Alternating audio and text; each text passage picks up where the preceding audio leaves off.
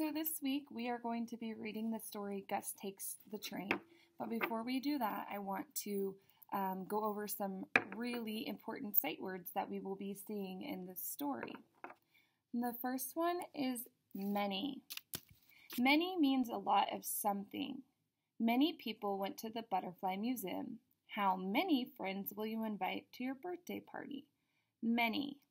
M A N Y. There are many cars on the streets. The next word we'll be seeing a lot of is friend.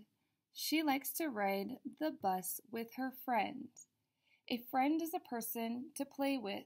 A friend is a person who helps you. F R I E N D, friend. The next word is fool.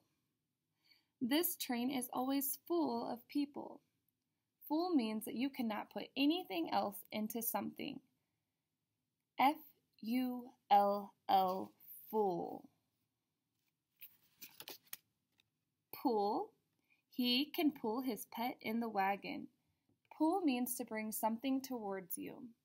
P U L L, pull. Hold. She can hold her phone in her hand. Hold means to take something or keep something in your hands. Please hold the camera still when you take the picture. Hold. H O L D. Hold. And our last sight word of the week. The ferry is a good way to see the city. Good is our sight word. Good means that you like something. G O O D. Good. Now, before we get started, I want to talk about one other thing, um, and it's called story structure. So, a story has different parts in it. I'm sure we all know that, right? Can you guys think of some parts that you know about? Last week we talked about beginning, middle, and end. And this week, the parts that we're going to talk about are the characters, the setting, and the plot. So the characters are the people and the animals in the story.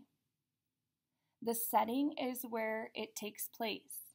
So at the house, at the train station, at school, that would be the setting. The plot is the story events.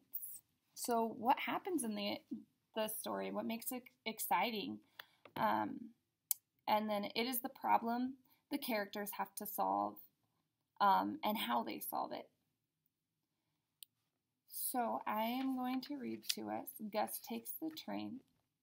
Um, it is a fantasy story.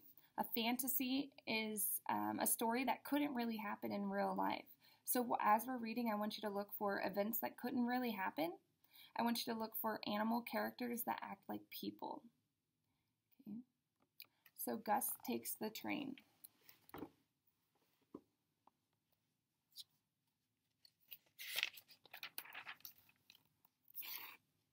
There we go. Gus has to run to get to the train. He has a big bag to pull. Run, Gus, run.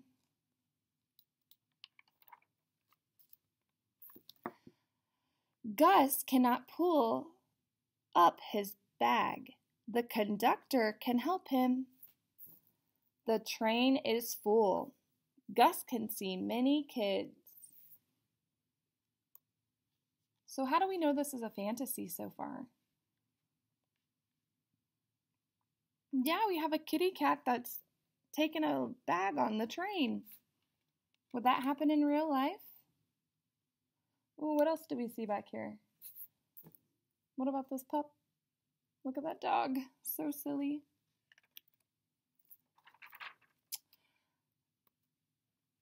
Gus sat. His big bag can go up here. Gus met a friend. Peg and Gus sing and play. So, who are the characters in this story so far? Yeah, Gus and Peg. Very good. Peg and Gus sing and play. Peg can hold the cups for Gus. Peg and Gus have a sip. It is good.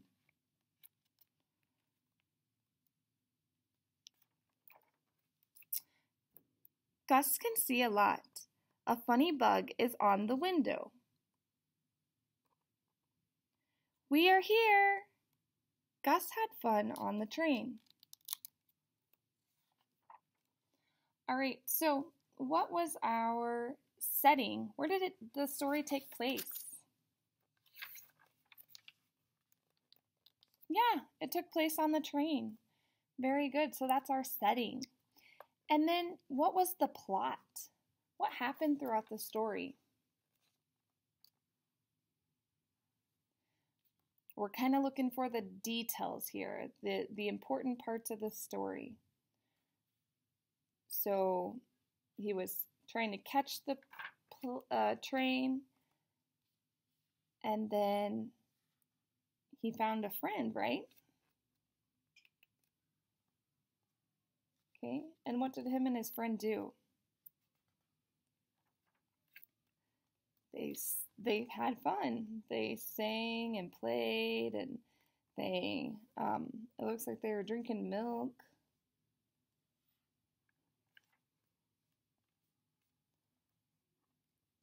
It looked like they were going to the